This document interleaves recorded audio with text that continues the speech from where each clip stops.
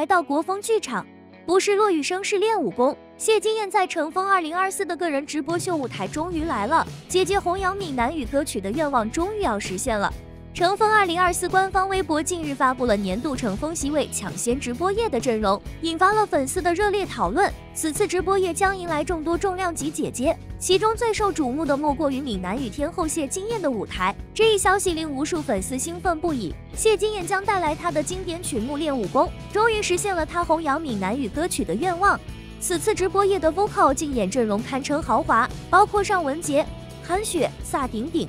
陈丽君和法国歌手 Jess Jonathan，各位歌手将带来《悟空》、爱、侠客吟、但愿人长久、负重一万斤长大和练武功这六首歌曲的精彩演绎。虽然谢金燕的表演秀不参与比分，但她的出场无疑是本场直播夜的最大亮点。乘风二零二四决赛分为三轮比赛，第一轮是 vocal 直播秀，第二轮是舞蹈团秀直播赛，第三轮则是成团夜的团秀和跨组合作秀。谢金燕的表演将在第一轮中登场，这不仅是他首次在该节目中亮相，更是他首次在乘风二零二四舞台上演绎闽南语歌曲。此次乘风二零二四的歌单也令人眼前一亮，堪称神曲集结。不仅有萨顶顶带来的《悟空》，还有韩雪的《爱》、陈丽君的《侠客吟》、Jess Jonathan 的《但愿人长久》、尚雯婕的《负重一万斤长大》。这些歌曲的风格各异，必将带来一场视听盛宴。谢金燕的表演秀虽然不参与比分，但她的出场无疑是观众们最期待的时刻。多年来，谢金燕一直致力于推广闽南语歌曲，《练武功》作为她的代表作之一，将在此次直播夜上再次焕发光彩。不少粉丝对谢金燕的舞台表演充满期待，纷纷表示已经准备好小板凳，坐等这场音乐大战的到来。谢金燕的首秀 vocal 不仅是对粉丝的最大回馈，更是她在音乐事业上的又一次重要突破。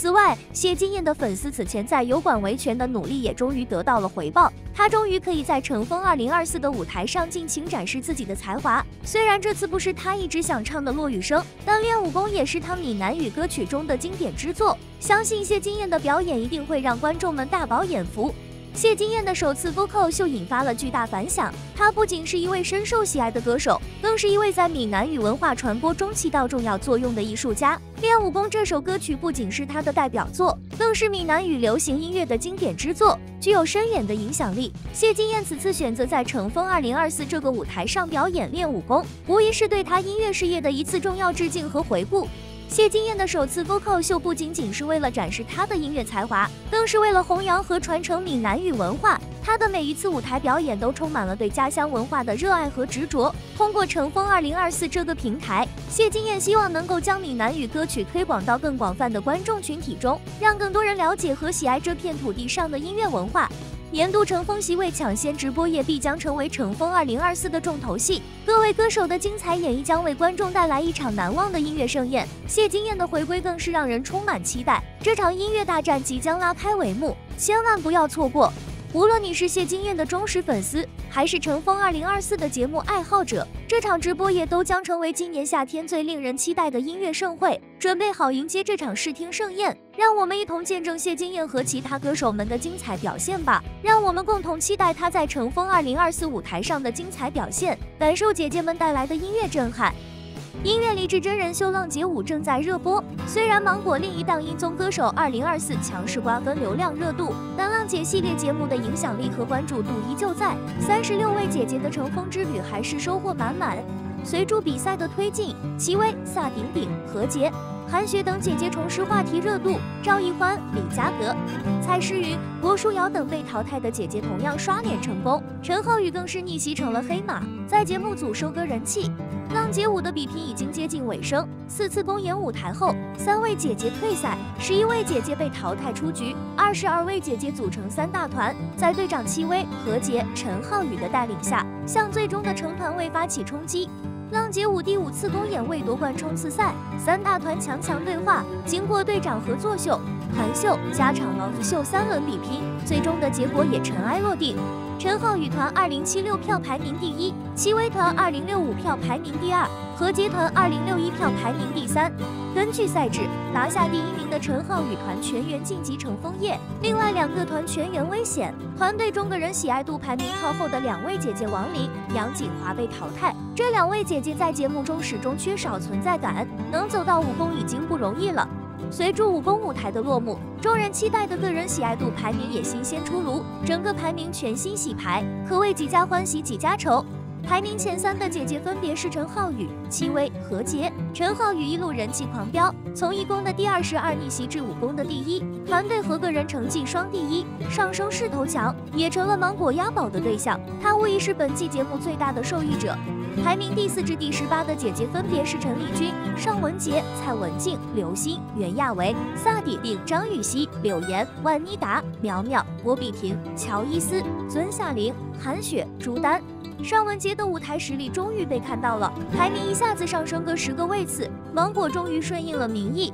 袁娅维、万妮达、苗苗、张雨绮等姐姐的名次也有了提升，而韩雪、乔伊斯等姐姐的排名并不理想，逐渐失去成团位争夺的资格。谢金燕排名第二十，继续在危险的边缘徘徊。除舞台排名第一的郑妮可成了节目中的小透明，武功人气直接掉到了第二十二名。因为陈浩宇团拿到了第一名才幸运过关，这排名谁看了不说一句心疼。相较于前四次公演，浪姐舞武功舞台整体质量可圈可点，姐姐们舞台状态拉满，三个双人 vocal 舞台高能不断，Super Star 密不透风等舞台同样收获好评。两大人气王刘星、陈丽君改编的《东风破》则争议满满。队长秀，戚薇拿第一，何洁垫底。队长合作秀为同区对决，何洁、戚薇、陈浩宇三人共同演绎 Super Star，舞台不仅考验队长的硬实力，也考验他们的现场人气。Super Star 知名度高，所以姐姐们的演唱也更容易引发共鸣，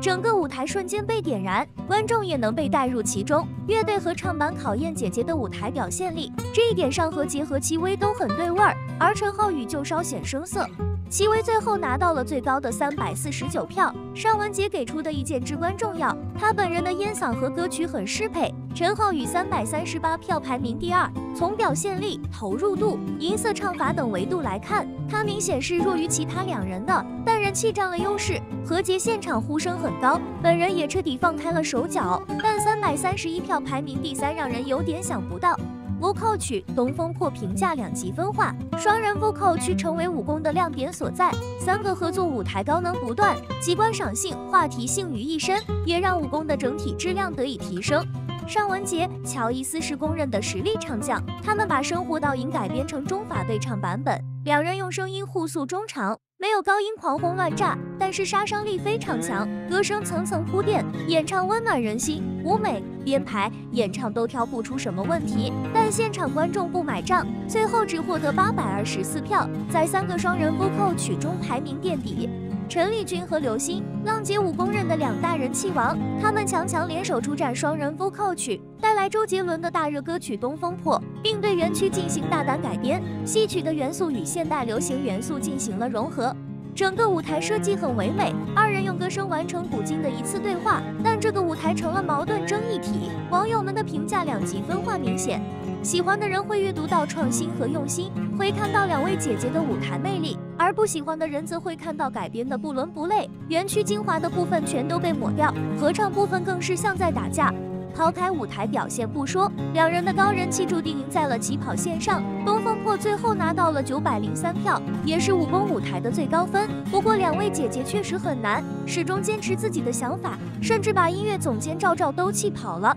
最后能有这样的呈现，值得点赞。多次拿到表演秀机会的万妮达，这一次又争取到了双人表现的机会。她搭档袁娅维带来歌曲《问风》，歌曲本身很入耳。两位姐姐的演唱气势磅礴，袁娅维 vocal 控场，万妮达 rap 炸场，听的人酣畅淋漓，拿到八百五十一票，实至名归。Dance 曲煽风点火，点燃全场。dance 曲比拼中，三大团都拿出了自己的看家本领，彼此在造型、舞美、表演等环节上进行了精心设计，但三个舞台的评价截然不同。七位团密不透风的布景和设计都很精细，一镜到底的拍摄手法很出彩，拍出了一个有故事的舞台。每一位姐姐的精神神态和舞台表现力都非常吸引人。这个舞台观众能看到主持人的自信从容，歌手的游刃有余，演员的个性魅力，每个人都在自己的位置里闪闪发光。但是八百七十二票确实对不起姐姐们的努力和付出。和接团破风就显得比较随意，节目组很明显没有精心准备这个舞台，妆造直接成了拖后腿的存在，浪费了姐姐们的颜值。其中刘星的造型更是游出了新高度，与整个团格格不入。虽然和集团的姐姐们努力做到能力范围内的更好，但是舞台整体缺少和谐统一性，舞蹈编排不精致，最后拿下八百四十七票，在三个 dance 舞台中排名垫底。陈浩与团煽风点火，点燃全场的热情。工业风舞台代入感十足，姐姐们又美又飒，非常有女团感。整个舞台火力全开，vocal、dance、门面、歌 part 全都聚齐，舞蹈极有力度，演唱热血有能量。最后拿下八百八十七票的好成绩。对于浪姐舞武功舞台，你们有什么要说的吗？你们认可最终的排名吗？今天的视频就到这里了，喜欢的点赞、留言、加关注，我们下期再见。